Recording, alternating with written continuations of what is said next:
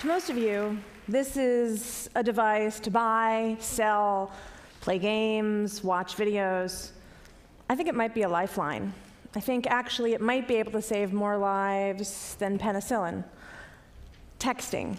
I know I say texting, and a lot of you think sexting. A lot of you think about the lewd photos that you see, hopefully not your kid sending to somebody else, or trying to translate the abbreviations LOL, LMAO, HMU. I can help you with those later. But the parents in the room know that texting is actually the best way to communicate with your kids. Might be the only way to communicate with your kids. The average teenager sends 3,339 text messages a month. Unless she's a girl, and then it's closer to 4,000. And the secret is she opens every single one.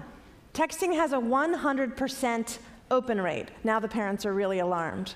It's a 100% open rate, even if she doesn't respond to you when you ask her when she's coming home for dinner. I promise she read that text and this isn't some suburban iPhone using teen phenomena. Texting actually over indexes for minority and urban youth. I know this because at DoSomething.org, which is the largest organization for teenagers and social change in America, about six months ago we pivoted and started focusing on text messaging. We're now texting out to about 200,000 kids a week about doing our campaigns to make their schools more green or to work on homeless issues and things like that. We're finding it 11 times more powerful than email. But we've also found a, an unintended consequence. We've been getting text messages back like these. I don't want to go to school today. The boys call me faggot. I was cutting, my parents found out, and so I stopped, but I just started again an hour ago. Or, he won't stop raping me. He told me not to tell anyone. It's my dad. Are you there? That last one's an actual text message that we received. And yeah, we're there. I will not forget the day we got that text message. And so it was that day that we decided we needed to build a crisis text hotline because this isn't what we do. We do social change. Kids are just sending us these text messages because texting is so familiar and comfortable to them, and there's nowhere else to turn, that they're sending them to us.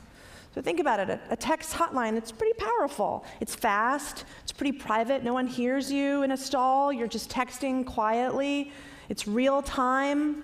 We could help millions of teens with counseling and referrals. That's great. But the thing that really makes this awesome is the data. Because I'm not really comfortable just helping that girl with counseling and referrals. I want to prevent this shit from happening.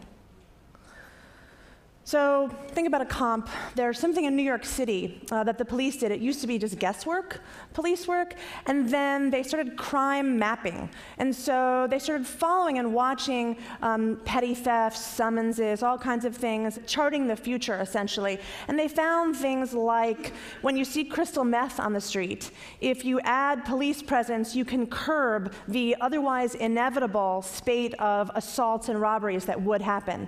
In fact, the year after the NYPD put CompStat in place, the murder rate fell 60%. So think about the data from a crisis text line.